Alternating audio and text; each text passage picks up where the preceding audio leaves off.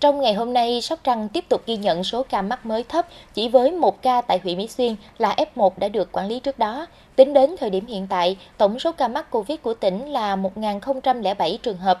Trong đó, thị xã Vĩnh Châu 291 ca, huyện Mỹ Xuyên 280 ca, huyện Thạnh Trị 85 ca, thị xã Nga Năm 85 ca, huyện Kế Sách 64 ca, huyện Long Phú 56 ca, huyện Mỹ Tú 49 ca, huyện Trần Đề 30 ca, huyện Châu Thành 29 ca, huyện Cù Lao Dung 26 ca và thành phố Sóc Trăng 12 ca. Số bệnh nhân xuất viện trong ngày là 15 ca, nâng tổng số bệnh nhân được điều trị khỏi là 607. Hôm nay không ghi nhận bệnh nhân tử vong, số ca tử vong toàn tỉnh vẫn là 20 ca.